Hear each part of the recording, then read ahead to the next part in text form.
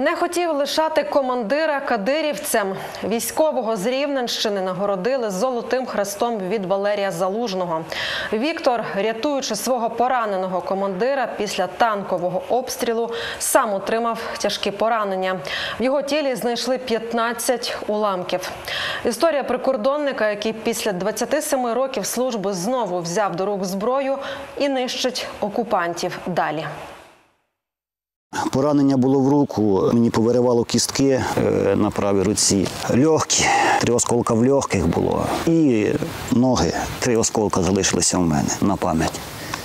Два в руці і один в нозі. Прикордонник Віктор з позивним очил віддав службі в армії 27 років. Він брав участь у бойових діях на східних рубежах нашої держави у 2014 році. А за два тижні до повномасштабного вторгнення був звільнений у запас. Планував відпочинок разом із сім'єю. Поїхав відвідати батьків на Рівненщині. Та війна усе змінила, і військовий знову повернувся на передову, де одразу ж почалися тяжкі бої. У нас було чергування кожних дві години. І, скажімо так, наша черга була приготувати щось пообідати. І готовлю обід для хлопців, присів біля буржуєчки, там тихенько. Це на вулиці все було недалечко від нашої хати. І чую вихід. Перший пролетів, скажімо, мимо. Другий вихід. Я почув вихід знову, але не почув приходу. І буквально два метри від мене ліг фугас. Хлопці побачили, кажуть, мабуть, ти родився у великій дуже сорочці, що він не розірвався. Да, це було, напевно, моє попередження. Це було 8 квітня. 9 квітня 2022 року Очел, рятуючи свого пораненого командира після танкового обстрілу, сам отримав тяжкі поранення. У його тілі було 15 уламків. Три з них так і залишилися. Хатабич каже, «Е, в хаті стоїть гранатомет. Каже, я піду в хату, такий його візьму. Ну це ну, треба було перейти перед тим танком. Я попросив його не йти. Кажу, там таки стоїть, не, не дай Боже, якісь проблеми. Він каже, ні, я все-таки піду. І він пішов. Він пішов, він не дійшов до цієї хати. Буквально тільки він зайшов у двері, прогримів вистріл з танка.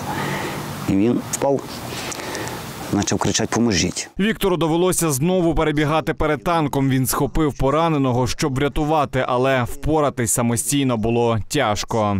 Людина в бронежилеті, тіло розслаблене, його тяжко. Е, Я гукнув е, цього Сергія. Кажу, допоможи, бо я сам не зможу е, його перетягнути. Ми тільки його перетягнули, пролунав вибух. Сидячи біля цього хатабища, я побачив, що летить кудись моя рука. І я бачу, що в мене в руці дирка. І вона летить в другу сторону. Мене перекинуло. За цим вибухом пролунав слідуючий. І мене знову розвернуло в другу сторону. І я лежу на боку, я бачу цього Сергія, який допомагав мені. В нього розірвані коліна. І він кричить: допоможи. Я не можу здвинутися теж з місця. Я ніг не відчуваю, але я доповз до нього, зірвав з нього турнікета.